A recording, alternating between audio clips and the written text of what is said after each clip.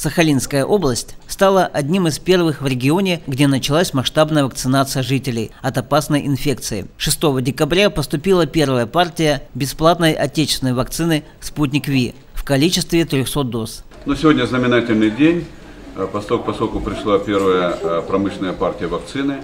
Это значит, что у пандемии э, появился такой, знаете, Рубикон – То, что было до появления промышленной вакцины и то, что после. Первыми вакцину получат представители групп риска, медработники, которые находятся в прямом контакте с пациентами, затем врачи и медсестры общего звена. Вместе с ними будут прививаться учителя и работники социальных служб. Далее в добровольном порядке остальные жители области. Каждому человеку будет сделано две прививки с периодичностью в две недели, чтобы за это время появились антитела и выработался иммунитет. Я работаю в инфекционном госпитале в Кожвене.